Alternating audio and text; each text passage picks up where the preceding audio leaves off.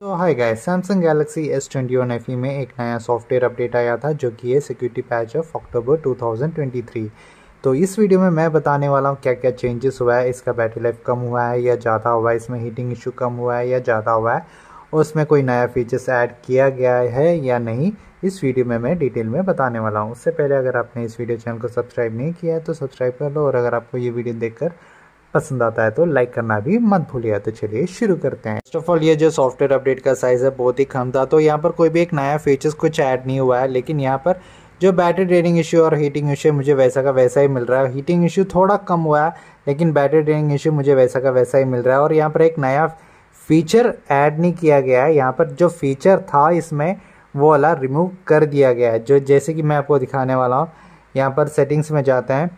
तो यहाँ पर मैं सेटिंग्स में जाता हूँ। सेटिंग्स में जाने के बाद यहाँ पर आपको बैटरी एंड डिवाइस केयर में नीचे में जाओगे तो यहाँ पर आपको एक डायग्नोस्टिक वाला एक ऑप्शन देखने को मिलता था। तो यहाँ पर अभी वैसा का वै, नहीं मिल रहा है। वाला ऑप्शन रिमूव कर दिया गया है।